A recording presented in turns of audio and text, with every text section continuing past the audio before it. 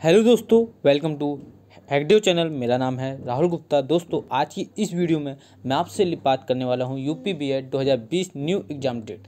दोस्तों, आप लोगों को पता है, यूपी बी एड जो फॉर्म निकले थे 12 फरवरी 2020 को निकले थे, दस बज के चौवालीस मिनट पे निकले थे ए एम मतलब सुबह निकले थे। पोस्ट अपडेट हुई थी तेईस मार्च 2020 एक बज के अड़तालीस मिनट पी एम पर इसके बारे में शॉर्ट इन्फॉर्मेशन दूँ तो ये यूनिवर्सिटी ऑफ़ लखनऊ की एक वो होता है कोर्स होता है, जेई माइंड होता है, दो ईयर का B Ed admission online application form आता है, जिसमें आप इंटरेस्टेड हैं तो भर सकते हैं और अप्लाई कर सकते हैं। अब आते हैं इसके बारे में सारा कुछ जानते हैं। यूपी जो बी है कंबाइंड इंट्रेंस एग्ज़ाम की जो ऑनलाइन फॉर्म थी, कौन कंडक्ट करता है, लखनऊ यूनिवर्सिटी करती है। ये यदि आप भर चुके हैं तो इसलिए आपको सारी नॉलेज होगी। अब इम्पोर्टेंट डेट्स क्या हैं? एप्लीकेशन फॉर्म आपको बता दिया, जैसे मैंने 12 फरवरी को 2019 को चालू हुआ था। अब लास्ट डेट क्या थी इसकी अप्लाई करने की?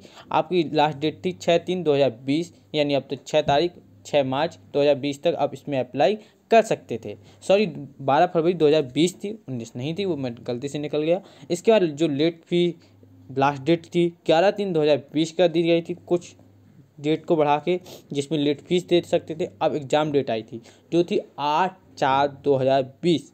आठ चार दो हज़ार बीस। आपको बता दिया, जैसे जो आठ चार दो हज़ार बीस जो एग्ज़ाम डेट थी, उसको पोस्टपोन कर दिया गया है। यानी आठ चार, यानी आठ अप्रैल 2020 को जो एग्ज़ाम थे, वो अब नहीं होने वाले हैं। वो एग्ज़ाम होंगे बाईस अप्रैल 2020 को। कब? बाईस अप्रैल 2020 को।